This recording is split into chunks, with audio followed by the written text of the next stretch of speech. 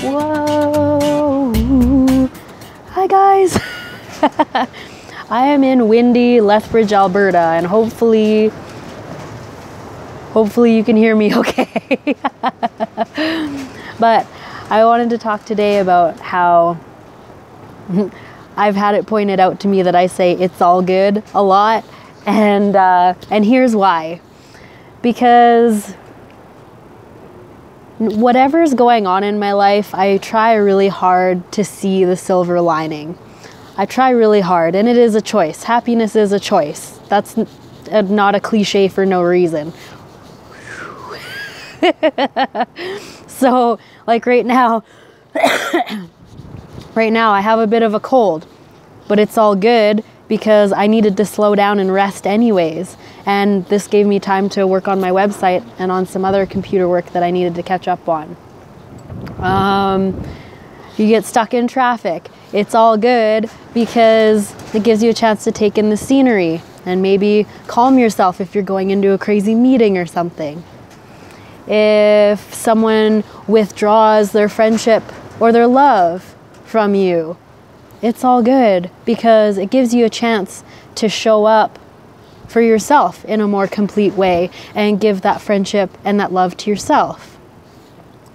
If someone close to you passes and you're devastated, it's a, it shows you the depth of love that you're capable of feeling. And that's a beautiful thing. if it's windy as hell and your hair keeps getting messed up, it's okay because it's a it's an opportunity to release control over what's happening in your life.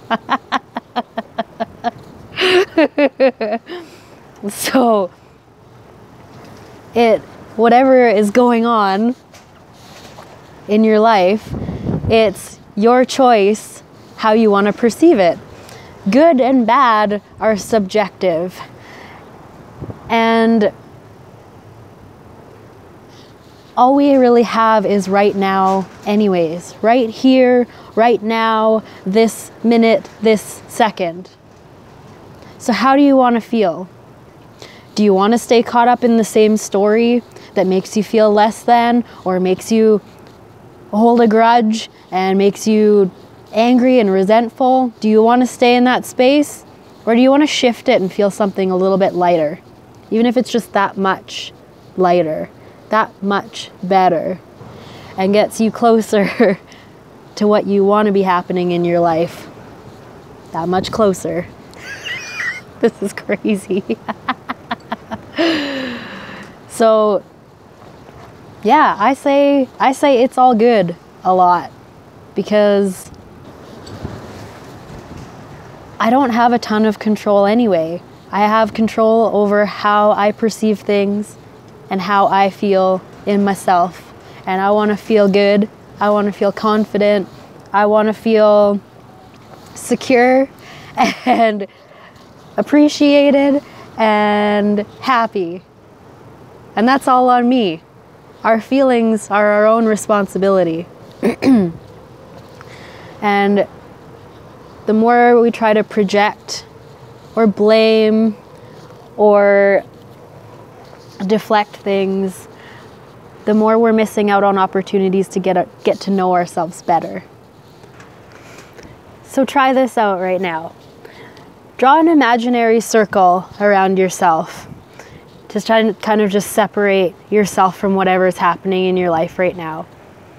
And sit with what you're feeling and realize that you're the one getting triggered but you're also the one pulling the trigger. It's kind of a tough one to swallow sometimes, but you're the one getting triggered, having the emotional response, and you're also the one pulling the trigger. And the part of you that's pulling the trigger is your emotional programming that's probably been around since you were a little kid the part of you that you don't want to look at, the part of you that needs the most attention. That's those are the part of us that get triggered. Those are the parts of us that get triggered. and and why the emotional response is so explosive sometimes is because if you think about how 5-year-old acts when they have their little tantrums and stuff that that's what's happening inside that's the same type of emotional turmoil that can happen when you get triggered And it's not easy. And your rational mind sometimes can't make sense of it because it hurts so bad or feels so crazy. But it's another opportunity to get to know yourself better. It's another opportunity to show up and love yourself the way that you need to be loved. It's only you can do that for yourself. We look outside ourselves for validation and and for love and for whatever else we want to feel and we're not going to find it not going to find it outside you find that inside and once you're able to love yourself and give yourself that validation or whatever kind of attention that little part of you needs then it comes to you from outside because you've given it to yourself first It's beautiful how life works that way. so, do to yourself as you'd have the universe do unto you.